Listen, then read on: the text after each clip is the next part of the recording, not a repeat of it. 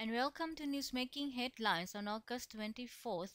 After lots of complaints comes an effort to crack down on garland sellers at Prapom or Brahma at Erawan Hotel for forcing tourists and worshippers to pay up to 6,000 to 8,000 baht for garlands and offerings. Thai Post Excise main headline says clerks at Erawan hiked the price of offerings to worship Prapom. Police say traders are accused of exploiting tourists and Brahma worshippers.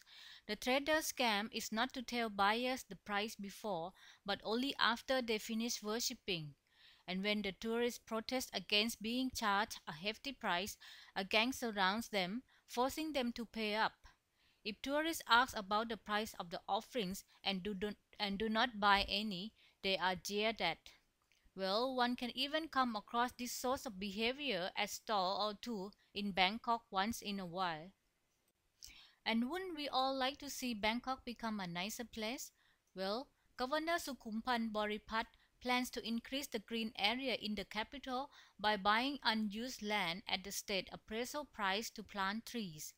How is he going to achieve that, especially as the appraisal price is much lower than the market price?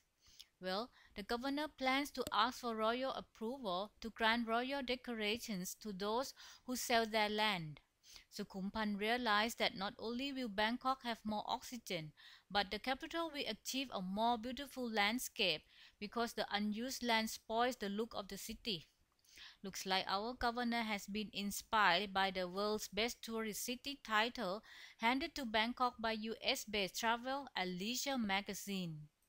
Meanwhile, the Philippines hostage siege, which looked right out of a Hollywood action thriller, also made Thairat's front page.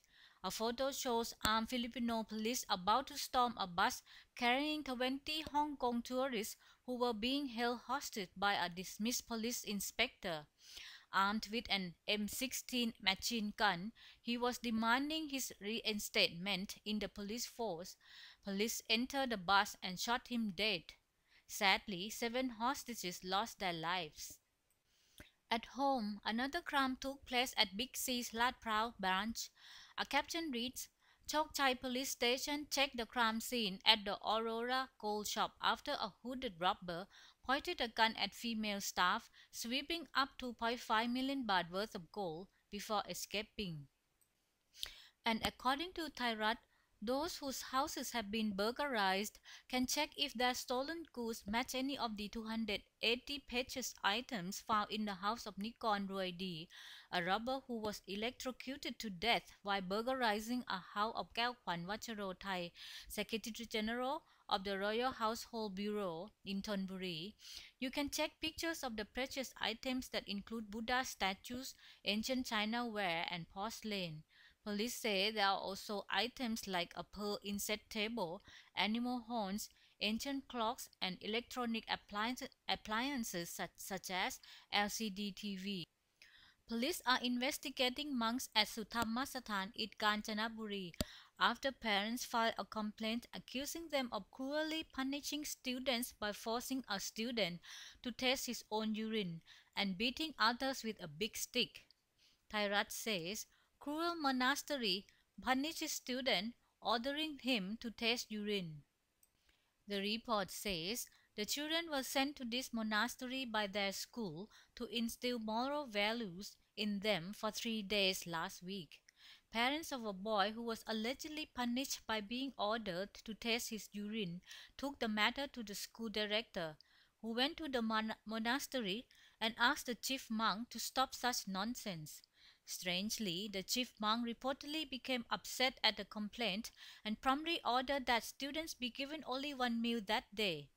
The students were sent packing the next day before Moro, the Moro camp was closed. Thairat, ASTV ผู้จัดการ and Thai Post all run pictures of Japan's foreign minister Katsuya Okada mourning the death of Japanese Reuters photographer Hiroyuki Muramoto who was shot dead at Siyak War on April 10th while reporting on the clash between the Red Rangers and security forces. And of course, dominating Thai front pages today is the latest development over ex-premier Thaksin Shinawatra, Pujatkan says Mao is ousted from Cambodia. Sub-headlines say fugitive Mao is being pressured to quit as economics advisor to Hun Sen. Thai Post main headline screams, Hun Sen cuts ties with Mao, exchanges ambassadors with Thailand as before. Thairat says Thaksin quits as advisor to Hun Sen. Thairat's top picture shows heavily armed crime suppression police bringing Chak Chalat or Pon Kong Suwan, a driver of Major General Khattiya Sawasdipol or Seh Daeng, to the criminal court after he jumped bail. Pujatkan, which also runs the picture, says the court granted, granted him bail and police have made him a state witness. Finally, do you have LPG installed in your vehicle? Beware, Here's a picture in Phuket that serves to remind you of the danger of LPG fuel vehicles. A caption reads, While driving her seven-year-old son to hospital, an office worker flicked a switch changing from gas to oil mode. Her car suddenly stopped. When, the, when she started the car again, a sound like an explosion was heard before the car's engine compartment caught fire. She grabbed her son and abandoned the fire-raging car. That's it, folks. We end with an, an image of the nation's front page. Have a swell day. Bye.